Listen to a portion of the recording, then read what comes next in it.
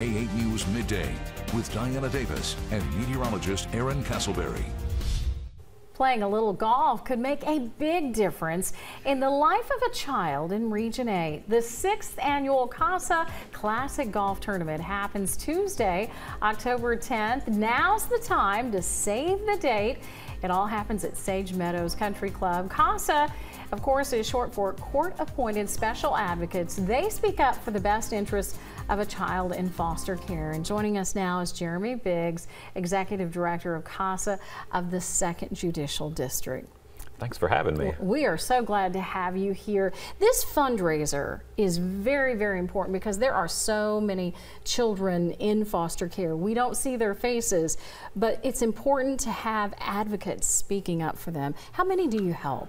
Um, that's a great question. So far this year, we have had 106 amazing volunteers provide direct advocacy services to more than 240 children in foster care all throughout Northeast Arkansas. That is incredible. And that help needs to be there for their kid, these kids because they're the voice in court. So this event, how can we take part in the golf tournament to help well, we're excited. This is our sixth annual CASA Classic, and it's presented by our friends at the Coffee Gallery and the Slayton Family Foundation.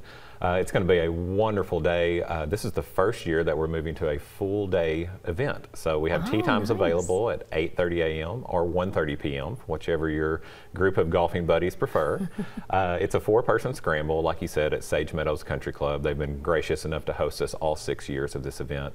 The team fees are $600 for this event, and it includes lunch, player gifts, mulligans, uh, we have a lot of fun opportunities to win more prizes. Great tee box sponsors setting up, passing out some swag on every tee box. So uh, just looking forward to a wonderful wonderful day in October. The weather is going to be 72 degrees, partly cloudy, light You're wind. Putting in your, your request right now, yes, Aaron. Yes. Now, what's the format for the tournament? It's a four-person scramble, so okay. anybody can come play and have fun, and uh, just bring some of your buddies or your coworkers. Uh, if your business is interested in jumping on and being a partner of CASA and supporting us through this golf tournament, we would love to have you join us. And are you looking for more sponsors, do you have that all taken care of at this point? Of course, we would love to have some more sponsors. uh, you can call me at 215-2926. It's 870-215-2926, and we have opportunities available for $100 to $1,000 so we can fit in anybody's budget. And we do have limited team space remaining. So if you're oh. wanting to play, go ahead and make that call. Uh, send us a message on any of our social media pages uh, and we'll get you registered. Now, are you looking for more CASAs to serve in our area?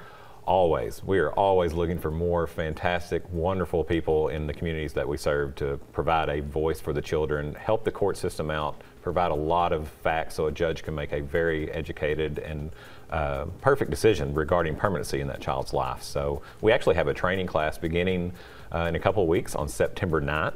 So if you're interested in becoming an advocate, you can visit our website, neacasa.org, click on the volunteer tab, and you can complete an application right there online and one of us will be in touch with you within 24 hours and set up an interview and get you started on training. And we're talking about making a lasting difference in a child's life. This is huge. Yes, you.